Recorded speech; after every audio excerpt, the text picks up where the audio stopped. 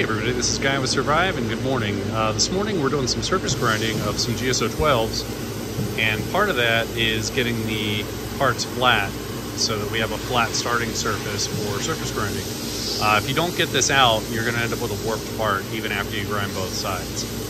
So uh, what we do is hammer flatten it so that we're not putting any additional heat in the parts after heat treat. Uh, it's no sense paying for a really good heat treat only to put a bunch of other heat stress into them after the fact.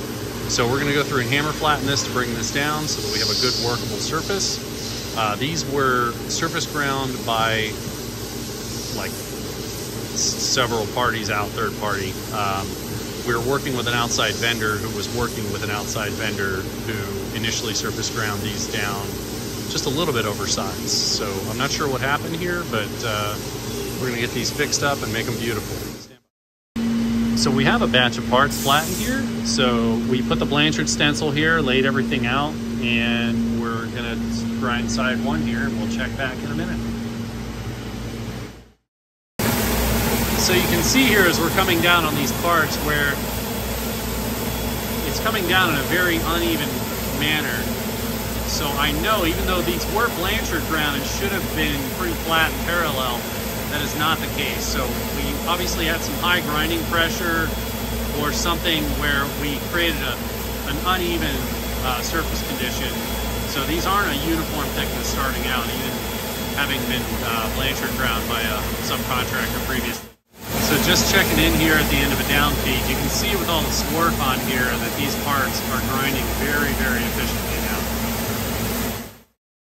So now we're done with side one here on these parts and I'm just going to take a close look in here so you can see this a bit better.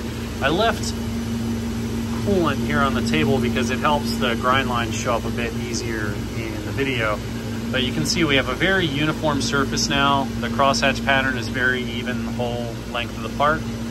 So that is a really, really flat side here for side one. So when we flip this over and bring down side two, uh, the part is going to have an excellent level of flatness and parallelism between the two sides.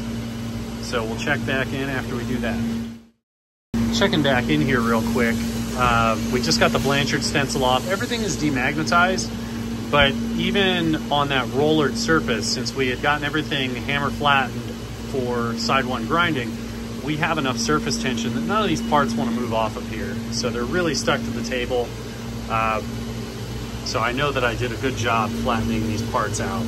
So when we flip these over, this is gonna be a, a very, very good working surface off the table to grind what's gonna be the show side. Uh, that's another reason that I, I always grind the backside first because while it's flat, we're still gonna get just a hair of a better finish. Uh, it shouldn't matter now with our new really fine finishing wheel, but you always get a little bit better finish after that flip. And uh, I like that to be the, the show side traditionally. But thankfully we've uh, engineered past that so that both sides have a really, really beautiful surface finish. So we're gonna get these off of here, blown off, wipe the table down, and get side two loaded up. So I just really quickly wanted to show you guys the finish on this blade. This is exactly, all of you guys with these big GSO 12s, 10s, and 8s, this is what we've been working toward. And we're finally there in our development.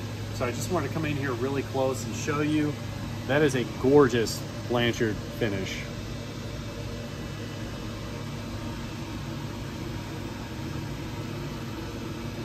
So after we dust this off about 5 tenths on each side, uh, we'll get that grain pattern much, much smaller, so all that'll erase in surface grinding. Uh, something else I wanted to point out here, it's kind of funny to think about, I say these are more time consuming, and it, it really is true in every regard. Uh, so I'm taking these off. We only get six per table here, and I can usually scoop up the whole table load, blow them off, and they're pretty well done. These are so big that I can only take one off at a time, and they're really tight on here. And I've got to blow these off and kind of wipe them off all at, at, you know, one at a time here, get them stacked, wipe the table down, and then make sure all this debris is off this large surface. Because if there's any little lint, dust, anything like that of any significance, um, it will affect how this this face mounts to this face. So obviously we want all of our surfaces to be flat, and parallel to one another so that our grinds come out good. we have a good even edge tolerance and you don't want any you know debris or anything on the table or on the parts um, mucking that up. So uh, yeah, these are a lot more time consuming in every regard. Sorry for blinding you there, Ellie. Uh, so now we're going to do side two here and show you the finished result here in a second. Uh, really quickly as an aside, this is why I have trust issues and where now we're bringing all this in-house. Uh, I don't blame my old service uh, provider. Uh, Travis did a really good job within his own shop, but then he reached out to a subcontractor for grinding. And I know all of the steel was relatively the same thickness because it was from the same heat when these parts were cut out. But so these went to a, a Blanchard shop somewhere. We already showed you that the parts really aren't flat or parallel, uh, which I think indicates some tramming issues or rushing through it but also the thicknesses are all over the place. I've got some parts over here as high as 290. Uh, I'm working on a few parts that are still here at 284. And then we have some extremes that come down here. Uh, I'm working thin up.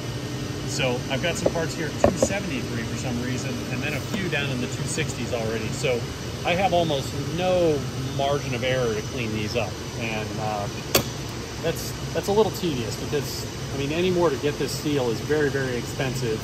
Uh, it was already expensive and now it's nauseatingly so uh, to get that performance and stuff that you guys want out of these tools. So bringing all of this in-house moving forward, you can see some of the struggles we were having and why we are kind of scared of these and a little hesitant to just jump in. Uh, we're trying to get this grinding process developed so we know it's going to work and give you guys the finishes you're looking for, but then also be able to get a you know, a meaningful amount of these out each day and each week without putting 18 hours a day in your stand in front of the grinder.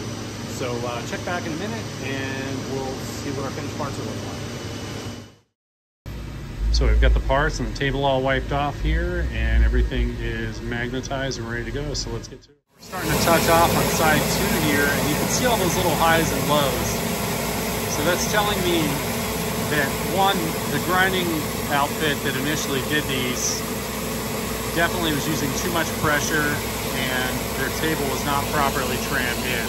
So we didn't have parallel surfaces from side one to side two. There we are, one last little check before we get these off the table. We are at 260 and eight and a half tenths, so that gives me plenty of room to clean up both sides of that really fine wheel. These look magnificent. So we're all ground on both sides here and other than a few fingerprints, this is a clean part. So we're just gonna go ahead and check this now that we're all done. Do a flatness check. And unsurprisingly, we have a nice flat part. So that's gonna result in a better sheath fitment because our tip's not gonna wanna go to one side or the other. And we're gonna have much more uniform grinding from side to side and a really uniform edge thickness the whole length of this blade. So there you have it. That's how we grind a GSO 12. I hope you found this video informative. I'm going to get back to work now, but check back soon for uh, probably some more content. Have a great day.